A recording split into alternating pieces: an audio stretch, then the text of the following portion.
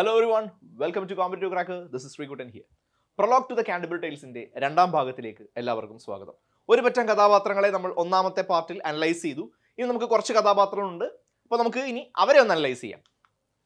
So let's begin with the wife of Bath ഏറ്റവും പ്രധാനപ്പെട്ട ഒരു കഥാപാത്രമാണ് പ്രലോഗിലെ wife of Bath gap tooth അപ്പോൾ അവരെ ആദ്യമേ നമുക്കൊന്ന് വർണിച്ചു തുടങ്ങാം. ഗ്യാപ് ടൂത്ത് പല്ലുകൾക്കിടയിൽ ഒരു വിടവുണ്ട്. ആ സമയത്ത് പല്ലുകൾക്കിടയിൽ വിടവുള്ള ഒരു സ്ത്രീയെ it was seen as a sign of boldness gluttony lasciviousness അത്തരം കാര്യങ്ങളായിരുന്നു ഈ ഗ്യാപ് ടൂത്തുമായിട്ട് നമ്മൾ അസോസിയേറ്റ് വെച്ചിരിക്കുന്നത്. സെക്ഷുവൽ ഡിസയേഴ്സ് എക്സസ് ആയിട്ടുള്ള സ്ത്രീ ആയിട്ടായിരുന്നു കണ്ടിരുന്നത്. And deaf in one ear ഒരു ചെവി കേൾക്കില്ല. എക്സ്പെൻസീവ് ക്ലോത്ത്സ് അവർ ആഡംബര വസ്ത്രങ്ങളായിരുന്നു ധരിച്ചിരുന്നത്. A hat that was as wide as a shield അവരുടെ തൊപ്പിയെക്കുറിച്ച് പറയുന്നുണ്ട്. ഒരു ഷീൽഡിനോളം വലിപ്പമുള്ള ഒരു ഹാറ്റാണ് ധരിച്ചിരുന്നത്. Sharp spurs and pleated cloak over her legs to keep the mud off her dress scarlet stockings and comfortable new shoes scarlet stockings ധരിച്ചിരുന്നു. അത് സമ്പന്നത കാണിക്കുന്നതാണ്. ഒപ്പം തന്നെ comfortable new shoes kerchiefs were made of high quality fabrics അവരുടെ കയ്യിലുണ്ടായിരുന്ന kerchiefs വില കൂടിയ തുണികൾ നിർമ്മിച്ചിരിക്കുന്നത്. A veil that must have weighed ten pounds ഏകദേശം ഒരു പത്ത് പൗണ്ടോളം ഭാരം അതിന് മാത്രം കാണും. ഒന്നാലോചിച്ച് നമ്മൾ ഇത്രയും ഭാഗത്തിൽ പറഞ്ഞതിൽ അവരുടെ വസ്ത്രത്തെക്കുറിച്ച് ഒരുപാട് നമ്മൾ സ്ട്രെസ് ചെയ്ത് പറഞ്ഞു അല്ലേ? Hat wild as a shield sharp spurs pleated cloak പിന്നീട് താണ്ടെ comfortable new shoes scarlet scarlet stockings high quality fabric എന്തുകൊണ്ടാണ് വസ്ത്രധാരണത്തെക്കുറിച്ച് നമ്മൾ ഇത്രയും പറയാൻ കാര്യം? കാരണം വൈഫ് ഓഫ് ബാത്ത് ബാത്ത് ലണ്ടനിൽ ഒരു പ്രധാനപ്പെട്ട സ്ഥലമായിരുന്നു. ആ സമയത്ത് ക്ലോത്ത് മേക്കിങ്ങിലെ ഏറ്റവും പ്രധാനപ്പെട്ട ഒരു സ്പോട്ടായിരുന്നു ഈ ബാത്ത് അതുകൊണ്ടാണ് ഈ വസ്ത്രധാരണത്തിൽ ഇത്രയും ഊന്നൽ കൊടുത്ത് നമ്മളവിടെ പറയുന്നത്. ലിവ്ഡ് ആൻ ഓണറബിൾ ലൈഫ് ശ്രദ്ധിക്കുക ഇത് സറ്ററൈസ് ചെയ്തുകൊണ്ടാണ് ചോസർ പറയുന്നത് ലിവ്ഡ് ആൻ ഓണറബിൾ ലൈഫ് ഇനി അവരുടെ ജീവിതം എങ്ങനെയായിരുന്നു നോക്കാം. Had five husbands at church door അഞ്ചു പേരെ കല്യാണം കഴിച്ചിട്ടുണ്ട്. And many lovers in her youth അഞ്ചു പേരെ കല്യാണം കഴിച്ചതിന് പുറമെ ഒരുപാട് കാമുകന്മാരും പുറമെ ഉണ്ടായിട്ടുണ്ട്. Now on the look out for a six husband ഇപ്പോൾ ഈ പിൽഗ്രിമേജിന് വന്ന് വന്നിരിക്കുന്നത് തന്നെ ആറാമതൊരു ഹസ്ബൻഡിനെ തിരക്കിയാണെന്ന് വേണമെങ്കിൽ നമുക്ക് പറയാം. ഷീ വാസ് പ്രിട്ടൻഷ്യസ് കുറച്ച് കാബഡിയൊക്കെ ഉള്ള വ്യക്തിയാണ്. Always wanted to be the first wife at church to make a donation to the poor എപ്പോഴും ആ പള്ളിയിൽ ആ പള്ളി ഇടവകയിലെ പാവങ്ങൾക്ക് സംഭാവന കൊടുക്കുന്ന ആദ്യത്തെ ആളായിട്ട് ഇവർക്ക് അറിയപ്പെടണമെന്നാണ് ആഗ്രഹം എപ്പോഴും. But if any woman made a donation before she did the wife would get angry and keep her money പക്ഷെ ആരെങ്കിലും അവർക്ക് മുൻപ് അത്തരമൊരു ഡൊണേഷൻ കൊടുത്തു കഴിഞ്ഞാൽ പിന്നെ അവർ ആ ഡൊണേഷൻ കൊടുക്കത്തില്ല. അവർക്ക് ആദ്യത്തെ വ്യക്തിയായിട്ട് അറിയപ്പെടണം. അപ്പോൾ അതിൽ നിന്ന് മനസ്സിലായില്ലേ? കുറച്ച് പ്രിട്ടൻഷ്യസ് ആണ്. വൈഡ്ലി ട്രാവൽഡ് ഇൻ ഇറ്റലി ഇറ്റലിയിലും സ്പെയിനിലും ഒക്കെ ഒരുപാട് യാത്ര ചെയ്തിട്ടുണ്ട്. ബീൻ ടു ജെറൂസലേം ത്രൈസ് മൂന്നവണ ജെറൂസലേമിൽ പോയിട്ടുണ്ട്. Love to tell romantic tales and to gossip പരദൂഷണങ്ങൾ പറയാനും റൊമാന്റിക് കഥകൾ പറയാനുമായിരുന്നു അവർക്ക് ഇഷ്ടം എക്സ്പീരിയൻസ്ഡ് ഇൻ ലവ് പ്രണയത്തിന്റെ കാര്യത്തിൽ ഒരുപാട് അനുഭവജ്ഞാനിയാണ്. വെൽതി സമ്പന്നയായിരുന്നു. ട്രാവൽ ദ വേൾഡ് ഒരുപാട് യാത്ര ചെയ്തിട്ടുണ്ട്. Then we have the physician അല്ലെങ്കിൽ the doctor of physic extremely good at his profession and well instructed in medicine and astronomy ഒരു ഡോക്ടറാണ് മരുന്നിനെ കുറിച്ചും അതുപോലെ തന്നെ അസ്ട്രോണമിയെ കുറിച്ചും നല്ല ജ്ഞാനമുണ്ടായിരുന്നു.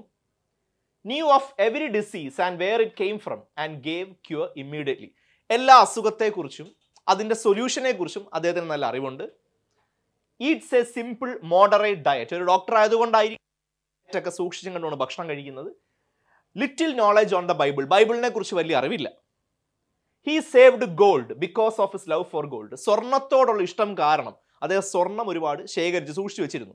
അതിന് രണ്ട് കാരണങ്ങളാണ് പറയുന്നത്.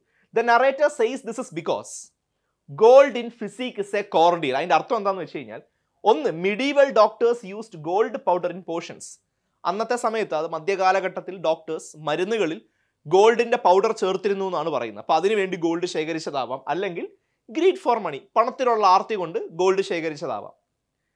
Dressed in bright red and blue gown അദ്ദേഹത്തിന്റെ വസ്ത്രത്തെക്കുറിച്ചാണ് പറയുന്നത്. Bright red and blue gown made of the finest silk ഏറ്റവും മികച്ച സിൽക്കിൽ നെയ്തെടുത്ത bright red and blue gown ആയിരുന്നു അദ്ദേഹം ധരിച്ചത്.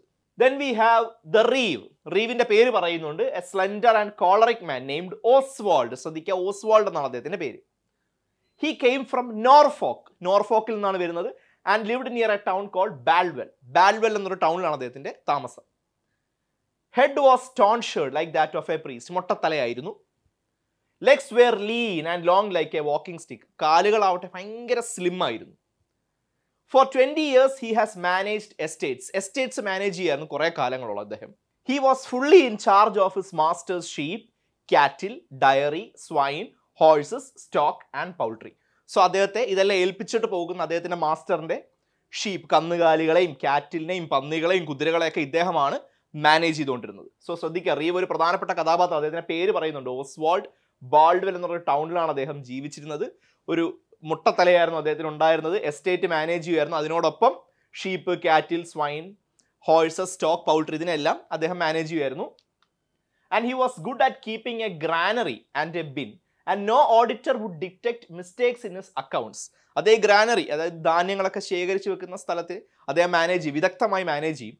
ഒരു ഓഡിറ്റർക്കും അതിന്റെ കണക്കുകളിൽ പിശക് കണ്ടെത്താൻ സാധിക്കാറില്ല. He could observe the seasons and foretell the harvest seasons ഒക്കെ നല്ല രീതിയിൽ അതായത് കാലാവസ്ഥയുടെ മാറ്റമൊക്കെ അദ്ദേഹത്തെ നിരീക്ഷിക്കാൻ അറിയാം. എപ്പോഴായിരിക്കും ഹാർവസ്റ്റ് വരുന്നതെന്നൊക്കെ അദ്ദേഹത്തിന് പ്രവചിക്കാൻ സാധിക്കും. ഗുഡ് കാർപ്പന്റർ നല്ലൊരു കാർപ്പന്റർ ആയിരുന്നു. A trade which he had learn in youth അദ്ദേഹത്തിന്റെ യൗവനകാലത്ത് അദ്ദേഹം പഠിച്ച ഒരു തൊഴിലാണ് carpentry his low bred undersized horse was called Scot അദ്ദേഹത്തിന് ഒരു കുതിരയുണ്ട്. ആ കുതിരയുടെ പേര് സ്കോട്ട് എന്നാണ്. He wore an overcoat അദ്ദേഹം ധരിച്ചിരുന്ന ഒരു ഓവർ കോട്ടാണ് ആ ഓവർ ഓവർകോട്ടിന്റെ നിറം bluish grey tucked into his girdle like a friar and carried rusty sword തുരുമ്പെടുത്തൊരു സോഡാണ് അദ്ദേഹത്തിന്റെ കയ്യിലുണ്ടായിരുന്നത്. സോ അദ്ദേഹത്തിന്റെ വസ്ത്രം ശ്രദ്ധിക്കുക. ബ്ലൂയിഷ് ഗ്രേ ഓവർ കോട്ടാണ് അദ്ദേഹം ധരിച്ചത്. Then we have the shipman the the sailor ഒരു നാവികനുണ്ട്. Lived in the West Country and comes from Dartmouth Dart മൗത്തിൽ നിന്നാണ് വരുന്നത്. Wore a coarse gown and hung a dagger on a cord about his dagger എന്ന് പറഞ്ഞ ഒരു കത്തിയൊക്കെ ഇങ്ങനെ അദ്ദേഹം തൂക്കിയിട്ടുണ്ട് the hot summer sun had made his complexion brown so ഒരു നാവികനല്ലേ എപ്പോഴും ഈ സൂര്യാഘാതമൊക്കെ ഏറ്റ് യാത്ര ചെയ്യേണ്ടി വരും. അത് കാരണം അദ്ദേഹത്തിന്റെ കോംപ്ലക്ഷൻ കുറച്ച് ബ്രൗണിഷ് ആണ്. ബോൾഡ് ആൻഡ് പ്രൂഡന്റ് നല്ല വിവേകബുദ്ധിയുള്ള വ്യക്തി. Beard shaken by many a tempest ഒരുപാട് കൊടുങ്കാറ്റുകളൊക്കെ അദ്ദേഹം ഫേസ് ചെയ്തിട്ടുണ്ട് യാത്രയുടെ ഭാഗമായിട്ട്. Widely travelled undoubtedly he was a rascal and had stolen much wine while the merchant slept പക്ഷേ പോലെ അത്ര നല്ല വ്യക്തിയൊന്നുമല്ല ഇപ്പൊ അദ്ദേഹത്തിന്റെ കപ്പലിൽ ഒരുപാട് മേർച്ചൻസ് വൈനൊക്കെ കൊണ്ടുപോകുമ്പോൾ ഈ മേർച്ചൻസ് കിടന്നുറങ്ങുമ്പോൾ അവരറിയാതെ ആ വൈൻ ഇദ്ദേഹം മോഷ്ടിക്കാറൊക്കെയുണ്ട്. Not troubled by a scrupulous conscience മനസാക്ഷി കുത്തൊന്നും അദ്ദേഹത്തിന് തോന്നാറേ ഇല്ല for he has thrown his prisoners into the sea ചില പ്രിസണേഴ്സിനെയൊക്കെ കൊണ്ടുപോകുമ്പോൾ കടത്തുമ്പോൾ അവരെയൊക്കെ എടുത്ത് അദ്ദേഹം കടലിൽ വന്നിട്ടുണ്ട് expert in matters regarding the position of the moon tides currents and the perils of the sea so കടലിനെ കുറിച്ച് അടിയൊഴുക്കുകളെക്കുറിച്ച് കാറ്റിനെക്കുറിച്ച് ഇതിനെക്കുറിച്ചെല്ലാം നല്ല വിവരവും കാര്യങ്ങളും അദ്ദേഹത്തിനുണ്ട്. His ship was called Maudelayne Maudelayne എന്നായിരുന്നു അദ്ദേഹത്തിന്റെ കപ്പലിന്റെ പേര്. ഓക്കെ അടുത്ത കഥാപാത്രത്തിലേക്ക് പോകുന്നതിന് മുമ്പ് പ്രധാനപ്പെട്ട ഒരു കാര്യം വീണ്ടും അറിയിക്കുന്നു. ടീം കോമ്പറ്റേറ്റീവ് ക്രാക്കർ നെറ്റിന്റെ കോഴ്സസ് ലോഞ്ച് ചെയ്തിട്ടുണ്ട്. ഇംഗ്ലീഷിന് പുറമെ management commerce economics C S I R physics general paper. ഇത്രയും സബ്ജക്ട്സിനാണ് ഇപ്പോൾ കോഴ്സ് ലോഞ്ച് ചെയ്തിരിക്കുന്നത്. ലോങ് ബാച്ചസും ഉണ്ട് ഈ വരാൻ പോകുന്ന ജൂൺ പരീക്ഷയ്ക്ക് തയ്യാറെടുക്കുന്നവർക്ക് വേണ്ടിയുള്ള ക്രാഷ് കോഴ്സുകളുണ്ട്. അറുപത് ദിവസത്തെ സ്റ്റഡി പ്ലാൻ ഉൾപ്പെടുന്ന ഒരു ക്രാഷ് കോഴ്സാണ് മുന്നിലേക്ക് വരുന്നത്. ലോങ് ബാച്ചിന്റെ വാലിഡിറ്റി എന്ന് പറയുന്നത് വൺ ഇയർ ആണ്. നമ്മൾ കോഴ്സ് ഫീച്ചേഴ്സ് നോക്കുകയാണെന്നുണ്ടെങ്കിൽ ഏകദേശം നിങ്ങളുടെ വാലിഡിറ്റി മാറ്റി കഴിഞ്ഞാൽ ഏകദേശം ഫീച്ചേഴ്സ് എല്ലാം തന്നെ സെയിം തന്നെയാണ്. ഇപ്പോൾ ഇംഗ്ലീഷിന്റെ കാര്യം പറയാനാണെന്നുണ്ടെങ്കിൽ ഏകദേശം ഇരുന്നൂറിൽ പരം വീഡിയോസ് രണ്ടായിരത്തിൽ പരം പ്രാക്ടീസ് ക്വസ്റ്റ്യൻസ് എല്ലാത്തിനും എല്ലാ പോർഷൻസും കവർ ചെയ്യുന്ന പി ഡി എഫ് മെറ്റീരിയൽസ് ഓരോ ടോപ്പിക്കും കഴിയുമ്പോൾ ഇൻ ആപ്പ് എക്സാംസ് അങ്ങനെ അനവധി ഫീച്ചേഴ്സാണ് വരുന്നത്. ഇപ്പോൾ നിങ്ങൾ റെക്കോർഡഡ് ക്ലാസ്സസിലൂടെ എല്ലാം പഠിച്ചു തീരുമ്പോൾ നിങ്ങൾക്ക് സംശയങ്ങൾ ഉണ്ടാവാം. നിങ്ങൾക്ക് ചില കൺസേൺസ് അഡ്രസ്സ് ചെയ്യേണ്ടതായിട്ടൊക്കെ ഉണ്ടാവും. സോ ഈ റെക്കോർഡഡ് ക്ലാസ്സസിന് പുറമേ ലൈവ് ക്ലാസ്സുകളും നിങ്ങൾക്ക് പ്രൊവൈഡ് ചെയ്യുന്നതാണ്. അപ്പോൾ ഒരുപാട് ഫീച്ചേഴ്സോട് കൂടിയാണ് ഈ കോഴ്സ് നിങ്ങളുടെ മുന്നിലേക്ക് വരുന്നത്. സോ ശ്രദ്ധിക്കുക ഈ ജൂൺ പരീക്ഷയ്ക്ക് വേണ്ടി തയ്യാറെടുക്കുന്നവർക്കായി ക്രാഷ് കോഴ്സ് അവൈലബിൾ ആണ് ലോങ് ബാച്ചും അവൈലബിൾ ആണ്. സോ നെക്സ്റ്റ് ദ യോമാൻ യോമാനെ കുറിച്ച് പറയുകയാണെങ്കിൽ he wore a coat and hood of green green colour ഹൂഡാണ് ഹൂഡും കോട്ടും ഹൂഡ് എന്താണെന്നറിയാം? നമ്മളിങ്ങനെ തലയ്ക്ക് മുകളിലൊക്കെ ഇടുന്നത്. And he carried a bow and a sheaf of shiny sharp arrows അമ്പും വില്ലും കൂടെ കൊണ്ട് നടന്നിട്ടുണ്ടായിരുന്നു. Fitted with peacock feathers under his pouch head was closely shaven and his face was brown അദ്ദേഹത്തിന്റെ തലമുടിയെ കുറിച്ചാണ് പറയുന്നത്. ക്ലോസ്ലി ഷേവൺ ഫേസ് ആവട്ടെ brownish colour knew all the techniques of carpentry കാർപ്പൻട്രിയെ കുറിച്ച് അദ്ദേഹത്തിന് എല്ലാം നല്ലതുപോലെ അറിയാം. And carried fine guard on his arm a sword and a shield on one side ഒരു വാളും ഷീൽഡും ഒരു സൈഡിലും and a finely decorated spear shaped dagger on the other side കുന്തമുന പോലെയുള്ള ഒരു കത്തിയും ഒരു സൈഡിൽ അദ്ദേഹം കൊണ്ടു നടന്നിരുന്നു. Wore a shining silver picture of Saint Christopher on his breast അദ്ദേഹത്തിന്റെ നെഞ്ചിൽ ഒരു പിക്ചർ അദ്ദേഹം കൊണ്ട് നടക്കുന്നുണ്ട്. എന്താണത്? സെയിന്റ് ക്രിസ്റ്റോഫറിന്റെ പിക്ചറാണ് also carried horn which had a green baldric then he's a woodsman compared to Robin Hood അപ്പോൾ അപ്പൊ ഇത്ര അദ്ദേഹത്തിന്റെ ഒരു എന്താ പറയുക ഫിസിക്കൽ ഫീച്ചേഴ്സിൽ നിന്ന് ഫിസിക്കൽ ആട്രിബ്യൂട്ട്സിൽ നിന്ന് തന്നെ നമുക്ക് മനസ്സിലായി. റോബിൻഹുഡ് റോബിൻ ഹുഡ് കഥാപാത്രമാണ് അദ്ദേഹം. കാട്ടിൽ ജീവിക്കുന്ന റോബിൻഹുഡിനെ പോലത്തെ ഒരു കഥാപാത്രമാണ്. നോക്കൂ കാരണം എന്താണ്? അദ്ദേഹത്തിന്റെ കോട്ട് എന്ന് പറയുന്നത് കോട്ടിൽ ഒരു ഹൂഡുണ്ട്. ഗ്രീൻ കളറാണ്. അമ്പും വില്ലും കൊണ്ട് നടക്കുന്നുണ്ട്. കാർപ്പൻട്രിയെ കുറിച്ച് അറിയാം. ഫൈൻ ആം ഗാർഡ് കൊണ്ട് നടക്കുന്നുണ്ട്.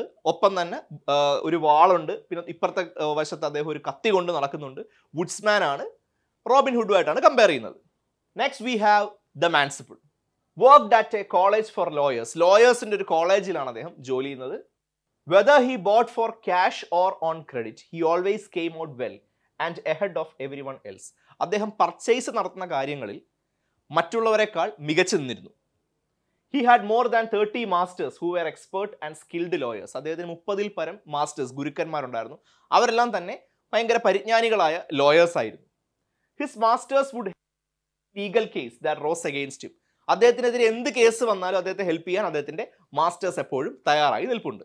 നെക്സ്റ്റ് ദ മില്ലർ വളരെ പ്രധാനപ്പെട്ട ഒരു കഥാപാത്രമാണ് the miller short stout fellow നീളം കുറഞ്ഞ എന്നാൽ ഒരിത്തിരി തടിയൊക്കെ ഉള്ള കഥാപാത്രമാണ് with big muscles and bones നല്ല well built body can outwrestle even a ram ഒരു മൃഗത്തെ പോലും വേണമെങ്കിൽ ഗുസ്തി പിടിച്ച് തോപ്പിക്കാനുള്ള ശക്തിയുണ്ട്.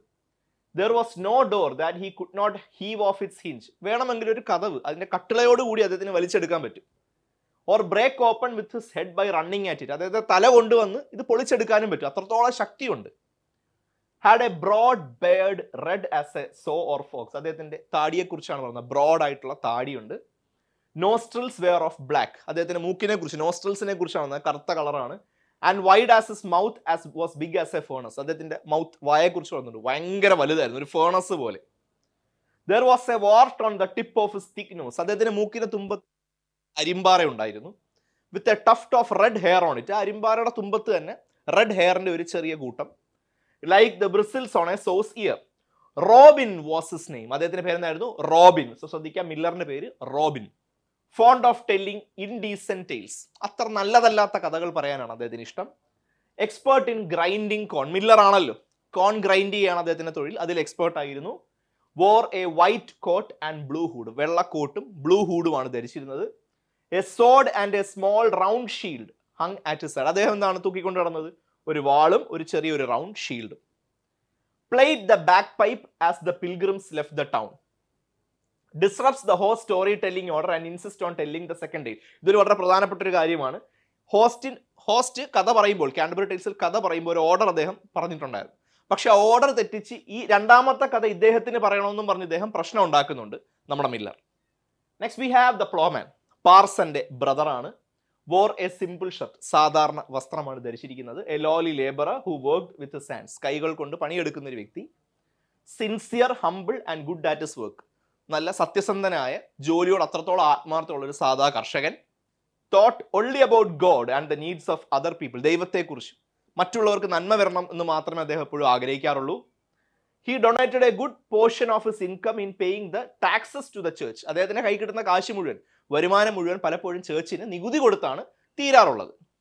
Then we have the cook നമുക്കറിയാം ഗിൽസ്മന്റെ കൂടെയാണ് കുക്ക് വന്നത്. So he was employed by the guildsman. For them he would boil chicken with marrow bones ഇപ്പൊ കുക്കാണല്ലോ ഭക്ഷണം പാകം ചെയ്യാണ് അദ്ദേഹത്തിന്റെ ജോലി.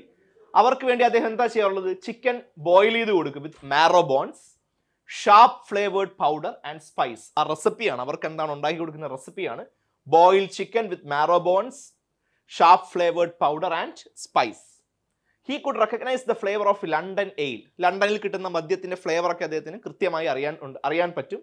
And he could roast steam boil fry and make stew and bake a pie well so അദ്ദേഹത്തിന് മത്സ്യവും മാംസവും ഒക്കെ ഈ പറഞ്ഞ റോസ്റ്റ് ചെയ്യാനും ബോയിൽ ചെയ്യാനും ഒക്കെ അറിയാം. പൈയും പൈ ബേക്ക് ചെയ്യാനൊക്കെ അറിയാം. The narrator pities him for the running sore on his shin പക്ഷെ ഒരു കുഴപ്പമെന്ന് വെച്ചാൽ അദ്ദേഹത്തിന്റെ കാലിൽ എന്താ പറയുക പറയുന്ന ഒരു മുറിവ് പറ്റിയ എന്റെ ഒരു പഴുപ്പൊക്കെയുള്ള ഒരു ഭാഗം അവിടെ ഉണ്ട്. ഒരു സോറുണ്ട് his masterpiece was minced chicken in white sauce. ഇപ്പോൾ ഓരോ കുക്കിനും ഒരു മാസ്റ്റർ പീസ് ഉണ്ടാവല്ലോ ഏറ്റവും മികച്ച രീതിയിൽ വെക്കാൻ അറിയാവുന്ന ഒരു ഡിഷ്. ഇദ്ദേഹത്തിന്റെ മാസ്റ്റർ പീസ് എന്ന് പറയുന്നത് എന്താണ്? ഒരു മിൻസ്ഡ് ചിക്കൻ വൈറ്റ് സോസിൽ മിൻസ്ഡ് ചിക്കൻ ആണ് ഹിസ് നെയിം ഇസ് റോജർ അദ്ദേഹത്തിന്റെ പേരും പറയുന്നുണ്ട് Roger then we have the host host ആരാ നമുക്കറിയാം? Harry ബെയിലിയാണ് acts as a guide to the pilgrims like the director of a play എല്ലാ പിൽഗ്രിംസിനും ഒരു വഴികാട്ടി അല്ലെങ്കിൽ ഒരു നാടകത്തിലെ സംവിധായകനെ പോലെയാണ് നമ്മുടെ Harry Bailey impressive man bold wise and well instructor നല്ല ബോൾഡായ നല്ല ബുദ്ധിയും വിവേകമുള്ള ഒരു വ്യക്തി. Take the tales seriously becomes involve emotionally ഈ കഥകളൊക്കെ ഭയങ്കര സീരിയസ് ആയിട്ട് കേട്ടിരിക്കും. പലപ്പോഴും അതിലൊക്കെ ഇമോഷണലി അദ്ദേഹം ഇൻവോൾവ് ആവുകയും ചെയ്യും. Creates conflicts as much as he solves them പലപ്പോഴും ഇദ്ദേഹം തന്നെ കോൺഫ്ലിക്റ്റ് ഉണ്ടാക്കാറുണ്ട്. ഇദ്ദേഹം തന്നെ സോൾവ് ചെയ്യാറുണ്ട് quarrels with the pardoner when he tries to sell fake pardons pardons വിൽക്കാൻ നോക്കുമ്പോൾ പാർഡനറുമായി ഇദ്ദേഹം വഴക്കിടുന്നുണ്ട്. Makes fun of the cook's drunken state cook ഒരുപാട് മദ്യപിക്കുമ്പോൾ അദ്ദേഹത്തെ കളിയാക്കുന്നുണ്ട്. അദ്ദേഹത്തിന്റെ പേരെന്താണ്? Harry Bailey then we have the narrator ആരാണ്? Chaucer the narrator accounts of the other pilgrims show the narrator's own prejudices and interest ഇപ്പൊ നറേറ്റർ ചോസർ എന്ന narrator മറ്റുള്ളവരെ വിവരിക്കുന്നതിൽ നിന്ന് അദ്ദേഹത്തിന് എല്ലാവരോടുള്ള താല്പര്യവും പ്രജുഡൈസും എല്ലാം നമുക്കും കാണാൻ സാധിക്കും. He is depicted as a fat sociable and naive eager to think well of others അദ്ദേഹം ഇത്തിരി തടിച്ച സോഷ്യബിൾ ആയ ഒരു വ്യക്തിയാണ്. ഫോർ എക്സാമ്പിൾ മാത്രമല്ല he's eager to think well of others അത് ശരിക്കും സർക്കാസ്റ്റിക് ആയിട്ട് പറയുന്നതാണ് സറ്റേറിക് ആയിട്ട് പറയുകയാണ്. For example when he says the wife of Bath led an honourable life അപ്പൊ അദ്ദേഹം പറയുന്നുണ്ട് വൈഫ് ഓഫ് ബാത്ത് വളരെ ഓണറബിൾ ആയ ഒരു ജീവിതമാണ് നയിച്ചത്. അത് സറ്റേറിക് ആയിട്ട് പറയുന്നതാണ്. എന്നിട്ട് അദ്ദേഹം പറയും കാരണം അങ്ങനെ പറഞ്ഞ അദ്ദേഹം പിന്നീട് പറയുന്നുണ്ട് and he goes on to describe describe her says the summoner is gentle and kind and goes on to talk about his taking bribes and seducing girls അപ്പൊ അദ്ദേഹം പറയുന്നുണ്ട് സമ്മണർ ഭയങ്കര നല്ല വ്യക്തിയാണ് കൈൻഡ് ആണ്. ജെന്റിൽ ആണെന്ന് പറയുകയും ചെയ്യും. അതിന് തൊട്ട് പുറകെ അദ്ദേഹം പറയും സമ്മണർ കൈക്കൂലി വാങ്ങിക്കാറുണ്ട് സ്ത്രീകളെ വശീകരിക്കാറുണ്ട്. അപ്പോൾ അങ്ങനെ സറ്ററൈസ് ചെയ്താണ് ഒരുപാട് പേരെ കുറിച്ച് അദ്ദേഹം പറയുന്നത്. സോ ഇതോടുകൂടി നമ്മുടെ കാൻഡബറി ടൈൽസിന്റെ പ്രൊലോഗ് ഇവിടെ അവസാനിക്കുകയാണ്. ഏകദേശം എല്ലാ കഥാപാത്രങ്ങളെക്കുറിച്ചും അവരുടെ ക്യാരക്ടർ സ്കെച്ചും അതിന്റെ ഒരു അനാലിസും ഒക്കെ നമ്മൾ നടത്തിയിട്ടുണ്ട്. ചെറിയൊരു രീതിയിൽ അങ്ങനെ വളരെ ഡീറ്റെയിൽഡ് ആയിട്ടല്ല ചെറിയ രീതിയിൽ. നിങ്ങൾക്ക് ബ്രീഫായിട്ടൊന്ന് മനസ്സിലാക്കുക ഒരു ചെറിയൊരു ഇൻട്രൊഡക്ഷൻ ആയിട്ട് നിങ്ങൾ മനസ്സിലാക്കിയാൽ മതി. നിങ്ങൾ കഴിയുവാണെങ്കിൽ ആ മുഴുവൻ ടെക്സ്റ്റ് ഒന്ന് വായിച്ചു നോക്കുക. അത് നിങ്ങൾക്ക് ഹെൽപ്ഫുൾ ആയിരിക്കും. സോ ഇത്രയും കാര്യങ്ങളാണ് നമുക്ക് പ്രൊലോഗ് ടു ദ കാൻഡബറി ടൈൽസിനെ കുറിച്ച് പറയാനായിട്ടുള്ളത്. വീണ്ടും നിങ്ങൾ ഓർപ്പിക്കുകയാണ് ഈ വരാൻ പോകുന്ന ജൂൺ നെറ്റ് പരീക്ഷയ്ക്ക് തയ്യാറെടുക്കുന്നവർ ഉറപ്പായിട്ടും നമ്മുടെ ക്രാഷ് കോഴ്സിന്റെ ഭാഗമാവുക. അറുപത് ദിവസത്തെ സ്റ്റഡി പ്ലാനോട് കൂടിയാണ് ഈ ക്രാഷ് കോഴ്സ് നിങ്ങളുടെ മുന്നിലേക്ക് വരുന്നത്. നമുക്ക് ലോങ് ബാച്ചും ഉണ്ട്. ലോങ് ബാച്ചിന്റെ വാലിഡിറ്റി എന്ന് പറയുന്നത് വൺ ഇയർ ആണ്. ഏറ്റവും പ്രധാനപ്പെട്ട മറ്റൊരു കാര്യം കൂടി നെറ്റിനെ കുറിച്ചുള്ള അപ്ഡേറ്റ്സും ന്യൂസും നോട്ടിഫിക്കേഷൻസും ഫ്രീ മോക്ക് ടെസ്റ്റും എല്ലാം അവൈൽ ചെയ്യാൻ വേണ്ടി ഞങ്ങളുടെ ഫ്രീ വാട്സാപ്പ് ഗ്രൂപ്പിന്റെ ഭാഗമാവുക. താഴെ അതിന്റെ ലിങ്ക് കൊടുത്തിട്ടുണ്ട്. കോഴ്സിനെ കുറിച്ച് കോഴ്സിനെ കുറിച്ച് കൂടുതൽ കാര്യങ്ങൾ നിങ്ങൾക്ക് അറിയണമെങ്കിൽ താഴെ നമ്പറുണ്ട് അവിടെ വിളിച്ച് എത്രയും പെട്ടെന്ന് നിങ്ങളുടെ സ്ലോട്ട്സും ബുക്ക് ചെയ്യുക. മറ്റൊരു വീഡിയോ ആയി നമുക്ക് വീണ്ടും കാണാം. പിന്നെ ഒരു കാര്യം കൂടി ഓർമ്മിപ്പിക്കുന്നു. ഈ ചാനൽ ആദ്യമായിട്ട് കാണുന്നവരാണെങ്കിൽ ഉറപ്പായിട്ടും സബ്സ്ക്രൈബ് ചെയ്യുക. താങ്ക്